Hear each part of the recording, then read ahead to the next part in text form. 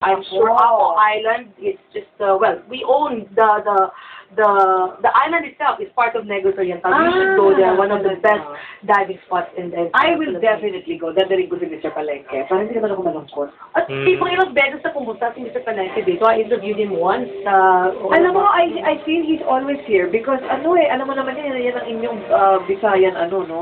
Oo. Yan ang inyong Visayan, uh, yan yung inyong uh, Visayan senator. Oo nga eh. He really is a man of the ngayon, Visayas. galing sa, Oo. sa, Boas- sa Visayas area. Yeah. Ah, tapos Miss Kay, um, uh, sinabi din nila na, ano ba, what, what's the plan? Can you, can you answer in behalf of uh, Mr. Senator with regards to his uh, um, plans for 2010? Naku, I think dapat siyang sumagot niyan.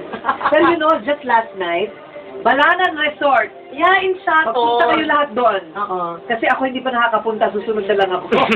It's a new Discovery Mountain Resort that we have here in Negros. Mountain Resort? Yeah, so it's a Wow. very cool place. You should go there. You have the best of both worlds, the Mhm. sea and the mountains. Okay, going back, Going back to the plan. going back to the plan, Mhm. just last night, nagkaroon kami ng parang night with the press. Aha. Ni media, no? Ah.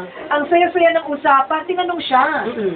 Ang sagot niya ganito, mahirap daw magsalita ng maaga kasi malayo pa, it's uh, 20 months away and sobrang dami pang kailangan gawin. You know, he did the cheaper medicines bill, so in November, bababa ng presyo ng gamot. Correct. And then, pinapa, pinapatanggal niya kay Presidente Yung yung, VAT, oo, sa oil products, Mhm. at yung Mindanao, ayaw niyang ihiwalay. Oh, correct. Okay, so busy siya dyan.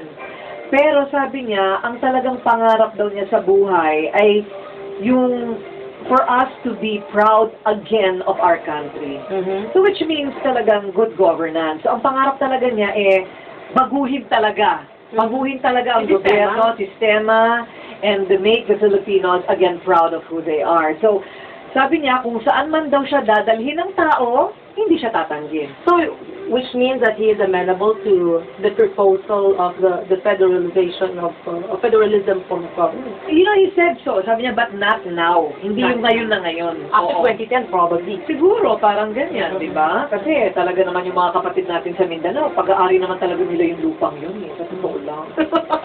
Controversial? Controversial view ba? No, I don't hanggang ngayon, naging, true. naging inuwi sa bakbakan. Oo nga. Oo. But I don't believe in violence. Kung ano yung mapapasa kanila, sana mapasa kanila nang hindi na nila kailangan humiwalay sa Pilipinas. Mhm. di ba? Miss Kay, you've been uh, the, the senior correspondent of ABS-CBN. How does it feel to be in your position now